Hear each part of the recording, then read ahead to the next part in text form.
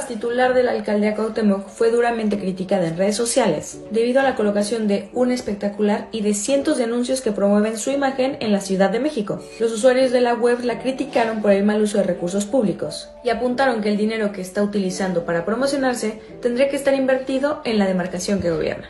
Horacio Duarte renunció a la titularidad de la Agencia Nacional de Aduanas de México para operar de lleno en la elección del Estado de México que se llevará a cabo el próximo año.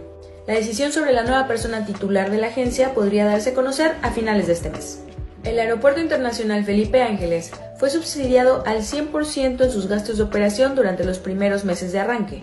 Mientras el Aeropuerto Internacional de la Ciudad de México mueve en un solo día la misma cantidad de pasajeros que el Aeropuerto de Santa Lucía ha hecho en cuatro meses, Hacienda tuvo que aportar 144 millones de pesos para cubrir el costo del primer trimestre de operaciones. Autoridades ucranianas informaron que Kiev volvió a ser objetivo de bombardeos rusos este lunes, después de que se reportaran explosiones en el centro de la capital. Según informó la presidencia ucraniana, drones suicida iraníes alcanzaron edificios residenciales y la sede de la empresa nacional de energía, aunque al momento no se reportan víctimas mortales. Las noticias más relevantes del fin de semana las encontraste aquí, en un poquito de contexto.